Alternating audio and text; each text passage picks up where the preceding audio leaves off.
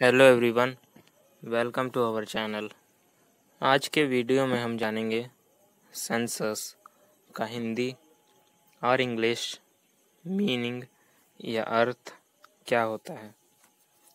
Census इसका हिंदी अर्थ है गणना, जनगणना, संगणना।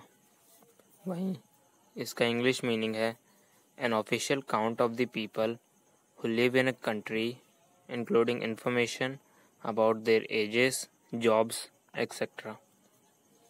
Example से समझते हैं इसे। Example we have a census in this country every ten years यहाँ सेंसस का मतलब है जनगणना। उदाहरण इस देश में हर दस साल में हमारी जनगणना होती है। इसी के साथ आज के वीडियो में इतना ही। Thank you so much for watching our videos